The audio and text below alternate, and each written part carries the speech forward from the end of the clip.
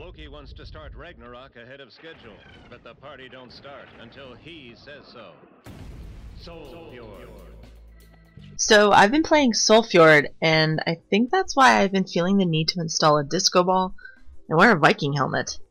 Remember how I said that it's always a wonderful surprise to have a game that embodies a sense of humor similar to mine? Well, Airtight Games' free-to-play Ouya exclusive Soulfjord is certainly no exception. Soulfjord is a unique hybrid of Norse mythology meets 70s funkadelic soul. Oh yeah, and it's rhythm-based too. You play as legendary warrior Magnus Jones, who was killed in battle. By the way, I'm pretty sure Magnus Jones may very well be the best video game protagonist name ever. When the time comes to go up to the hippest club in the afterlife, Valhalla, Magnus discovers he's been booted off the guest list by some punk bouncer.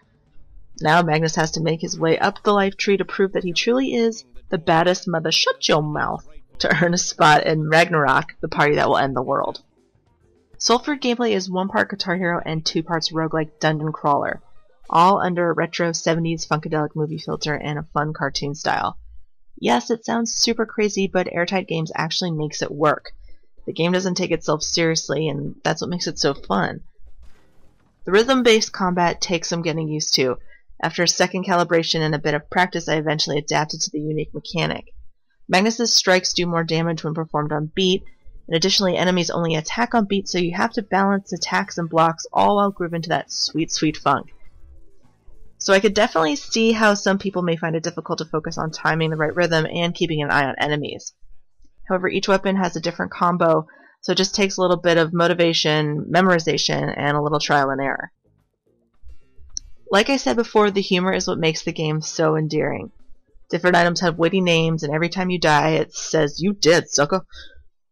For a free-to-play game, Soulfjord accomplishes a lot, and thankfully even with optional microtransactions, you can still make it through the game without buying anything, but of course, they certainly help.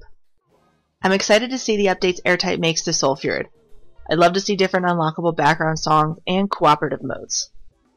Soulfjord is a quirky, fun game that fits perfectly with Ouya, and it's free to play, so you really have no excuse for not playing it, unless, of course, you're a Jav turkey. Also, be sure to head over to GhostVolta.com and check out Spencer's full in-depth review of Soulfjord. All footage was captured with the Elgato HD game capture device.